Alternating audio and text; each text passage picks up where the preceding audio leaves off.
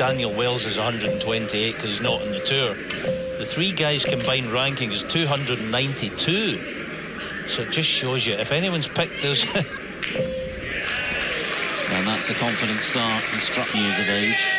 Five years later, he claimed the world amateur title. Of course, he fell shootout crown to the one he won in 2015, and he beat Zhao Guodong.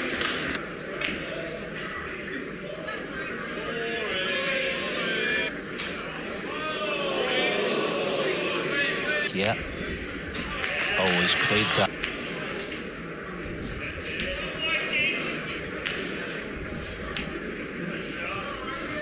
It's a great chance, but only if you remain calm and it.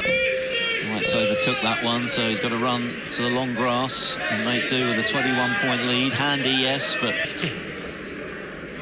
That's a... Well, I'm not going to say straight... Isn't it funny? Maybe it's just in the guessing games, or Michael. Leads, isn't it? Which you get early in a match, but there is a tendency to start thinking that lead disappears. That was a tough one. He didn't get close. Wakelin looking a little edgy.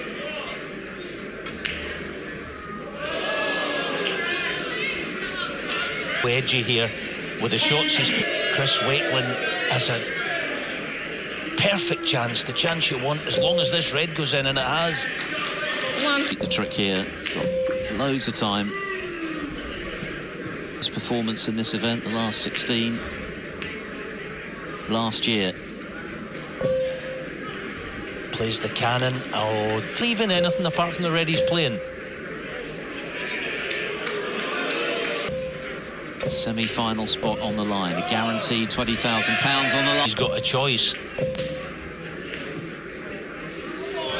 Oh, grabs who can grasp it. That's a really...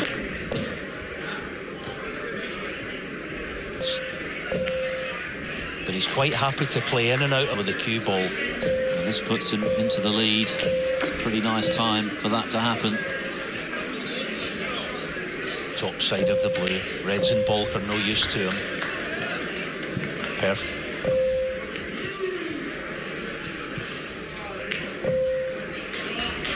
Oh, and the red goes safe. So even... Well, he's played a shot. But he's left. Anything, just don't play a shot. Can he bring reds out of this?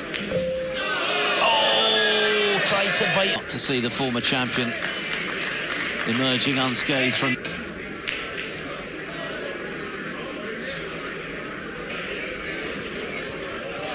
grand